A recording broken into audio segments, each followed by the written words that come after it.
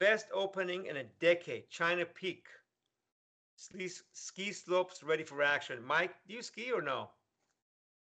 No. For the safety of everybody on the mountain, I do not ski. Okay. That's, I love that answer. Believe it or not, I used to ski a lot in Iran. Uh, most folks don't know that Tehran has four ski resorts. Uh, the farthest away is about an hour and a half. Uh, we used to go skiing every weekend. It was super inexpensive and just fantastic skiing. Some of the best world class skiing in just outside of Tehran, Iran. Hopefully, someday a few of us can go back and enjoy that uh, skiing. Uh, Maybe sooner than later, Darius. Okay. I think over the next four years, uh, given the change in administration, is probably the closest we're ever going to get to that happening. Okay. That, that very well could happen. Uh, I think the Israelis have been working on regime change in uh, Lebanon and Gaza. Maybe they should have been focusing on someplace else. Okay, I'm not going to say anything else. Uh, how did Fresno County Elections Office mail out wrong ballots? Uh, this is a kind of an enigma, and I'm going to bring in Bill real quick. There's we know at least 11 votes are off. Is it because one side of the street could be in one district, another side could be in another district, and it's gosh, we talked about this on, on, on this show. 200 and is 250 different ballots have to be prepared, packaged, and sent out to folks in Fresno County. That's a lot of work that Mr. Kus and his team have gone try to perfect.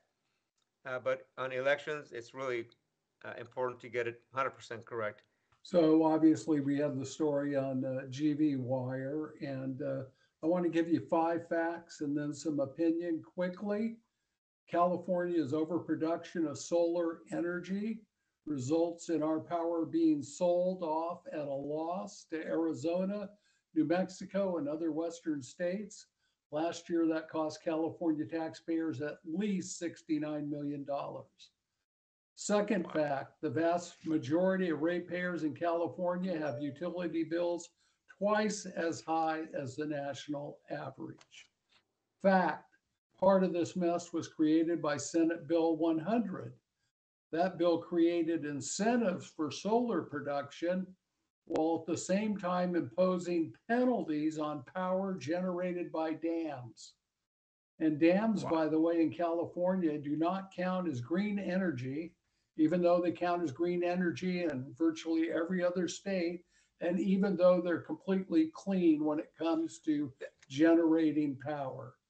Fact the state is overbuilding renewables without sufficient storage capacity. Our current industrial batteries store only four hours of solar power. That's inadequate to meet nighttime demand. Fact. Okay.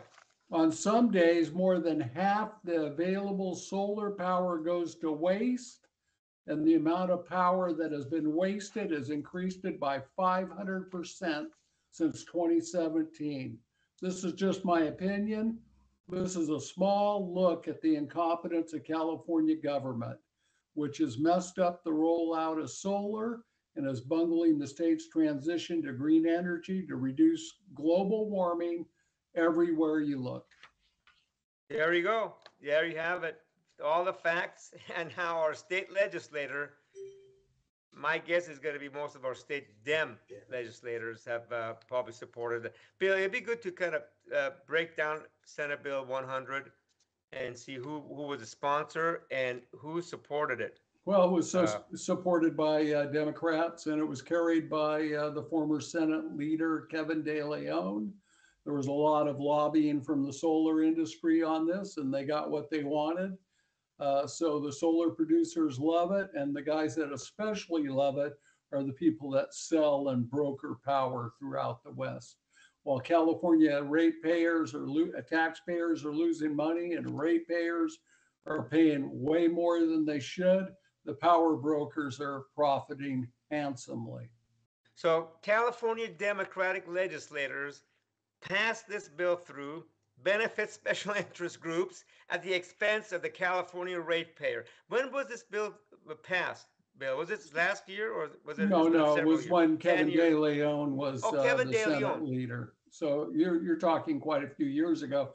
And you know how this uh, happens. They'll pass a bill, then they need enabling legislation to implement it. And, you know, Yeah. sometimes the, the last vestiges of the bill aren't uh, put into action until seven or eight years later, as happened with vehicle miles traveled.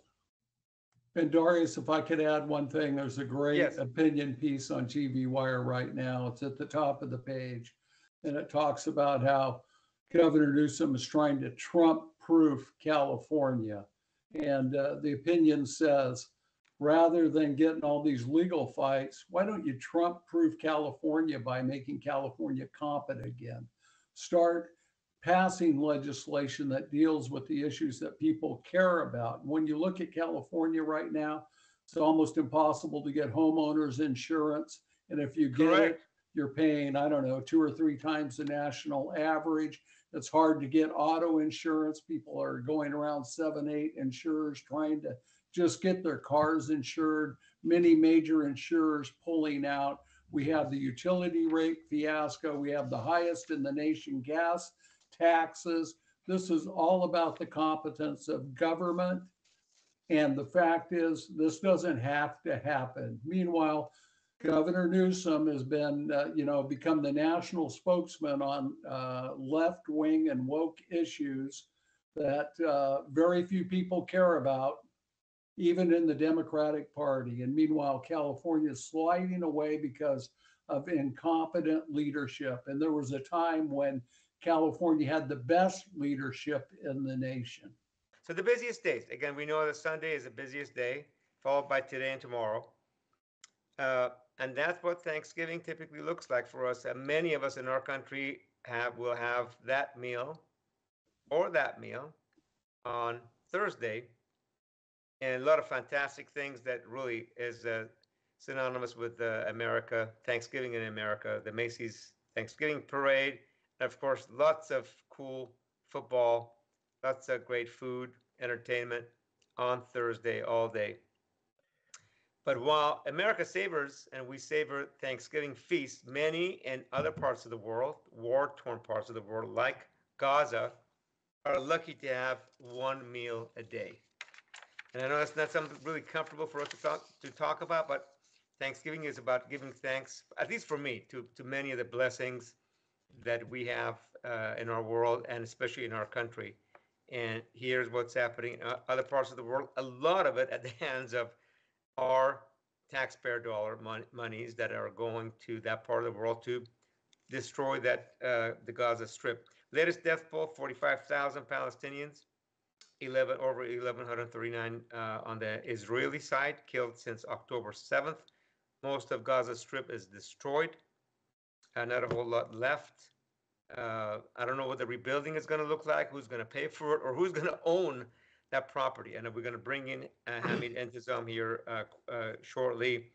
Uh, slides 19 and 20.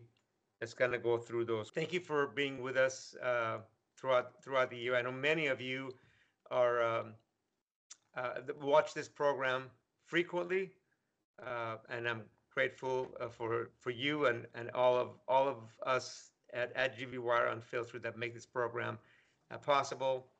Um, we'll have a little tribute to them end of uh, this year. Uh, we are working on the person or the people of the year we, that we will announce uh, right before Christmas, as we did last year.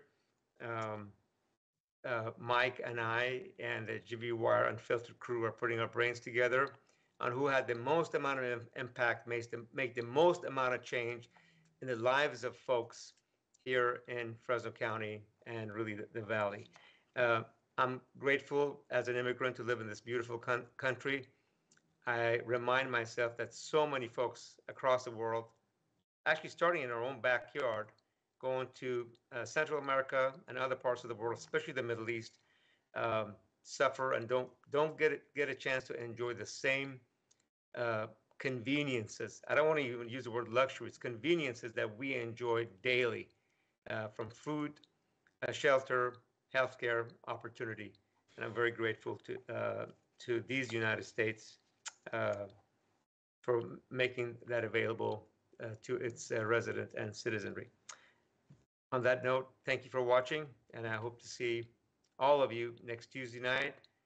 And uh, we'll, we'll come, we'll, we're getting ready for a year-end Person of the Year announcement. So stay tuned. That will happen right before uh, Christmas.